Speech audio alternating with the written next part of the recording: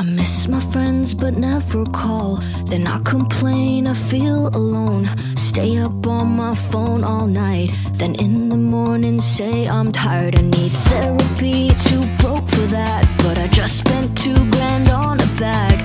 Buy self help books I won't read. Put podcasts on.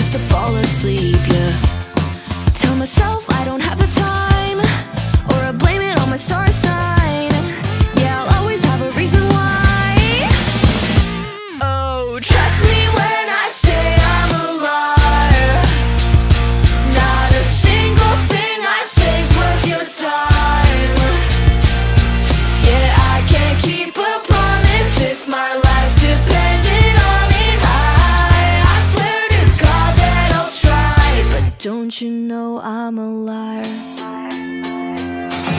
I signed up for the gym close by, and it's been six months and I've gone twice.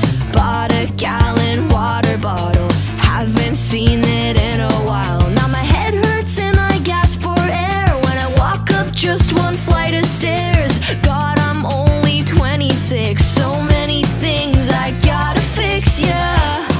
Hurt myself like it's a 9 to 5. I'm so